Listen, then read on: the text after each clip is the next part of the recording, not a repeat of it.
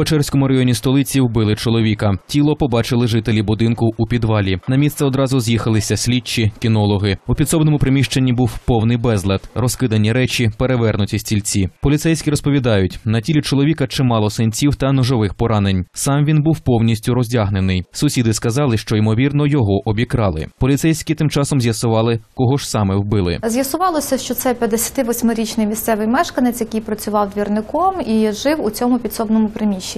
Згодом ми вже мали уточнену інформацію про те, що е, зник ноутбук, телевізор і три мобільні телефони. Правоохоронці почали по крихтах збирати інформацію. кажуть, ретельно обстежили територію, зібрали і відео з камер спостереження. Виявляється, в об'єктиви потрапили ймовірні зловмисники. Їх було троє. Оперативним шляхом правоохоронці е, швидко вирахували одного із е, можливих е, зловмисників і затримали його на залізничному вокзалі при спробі втечі. Утікач житель Запорізької області. Йому 37 років. Він ніде не працює. Раніше вже встиг засвітитися у кримінальних хроніках. Опинившись цього разу у руках полісменів, чоловік зрозумів тікати нікуди. Відтак розповів, разом з двома товаришами вони прийшли до потерпілого, аби обікрасти. Потім побили його, кілька разів вдарили ножем, забрали речі і втекли.